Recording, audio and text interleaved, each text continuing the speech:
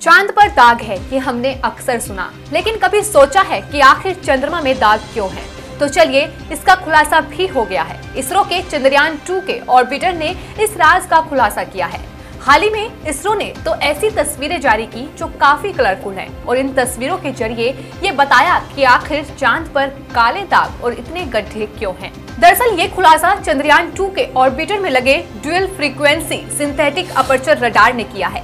इस डिवाइस ने चाँद के दक्षिणी ध्रुव पर मौजूद सतह का अध्ययन किया और बताया कि असल में चाँद की सतह पर बने गड्ढे ही दरअसल चाँद में दाग की वजह है। आपको बता दें डीएफएसएआर से ये पता लगाया जा सकता है कि चाँद की सतह पर कहाँ गड्ढे हैं, कहाँ पहाड़ और कहाँ प्लेन ज़मीन है। यही नहीं, इस डिवाइस की मदद से ये भी पता लगाया जा सकता है कि चाँद की सतह पर कौन से गड्ढे कब बने होंगे।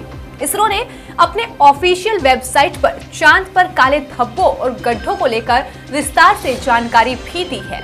इसरो की वेबसाइट के मुताबिक, चाँद की सतह पर अक्सर उल्का पिंड छोटे ग्रह और धूमकेतु टकराते रहते हैं।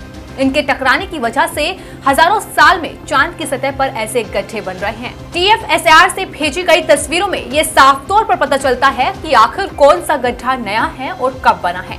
अब आप सोच रहे होंगे कि आखिर चाँद की सतह पर बने गड्ढों से चाँद के काले धब्बों का क्या लेना देना है? असल में यही गड्ढे और इनकी परछाइयाँ ही चाँद के चेहरे पर काले धब्बे से दिखाई पड़ते हैं। न्यूज़ के अपडेट्स के लिए सब्सक्राइब करें दिल्ली 99